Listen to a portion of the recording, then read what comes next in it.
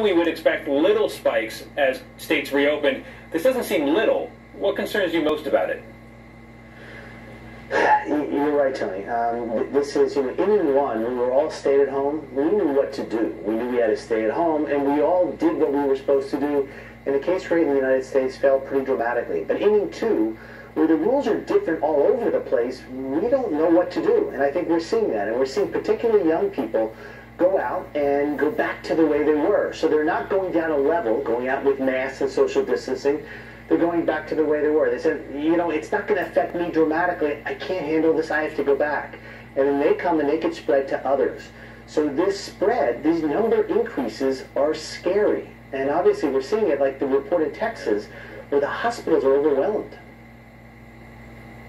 Why is it that we have this double digit increase nationally in cases, but the death count is declining? The two week averages in the number of fatalities on the way down. Why the lag? Well, because we have an age drift downwards. Um, you, you know, United States is 4% of the global population, yet 25% of the deaths and cases of COVID-19 in the world. We're seeing this increase in cases now in the United States, but the younger people, they're hospitalized, many of them, but they're not going to an ICU as much and not obviously dying as much. So the death rate is staying stable. But this is still worrisome because they could spread the virus. And then it's these asymptomatic people that really worry me because they could spread to others without knowing it. And so when cases are up, the numbers of cases of spreading are growing. And it's uh, scary right now in this country. Yeah, you mentioned some new rules. One that comes to mind is New York, New Jersey, and Connecticut uh, imposing a two-week quarantine on visitors from uh, states that are seeing a surge. Will that be effective? And then, bigger picture, are these states with a surge likely to need a lockdown to get it under control?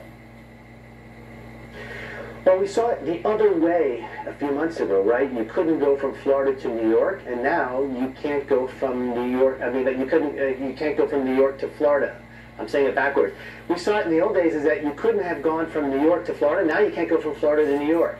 So yeah, I think that they have to do this. Is that there are places in the country where there are very high numbers of cases, and they have to, in a sense, be on lockdown. And other states are going to say, I don't want people from that state coming into my state. And we're all going to start to protect each other. You know, states with different rules makes it very confusing. We don't have national leadership on what to do. It's all at the local level. And that makes it difficult because you don't know exactly what the rules are.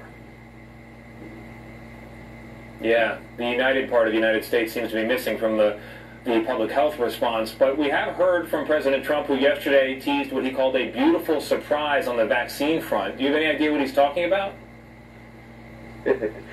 um, I'm not always quite sure I understand what he's talking about, but I can say is that the results on the vaccines look very promising in that right now thousands of patients have been vaccinated. There have yet to be significant side effects. And what I think is encouraging is that almost everyone is having an immune response. Realize that the vaccine is going to be a little different, I think, than was originally billed. It may be two shots. So one shot on day zero, another shot three weeks later. And then we'll see how long the vaccine lasts.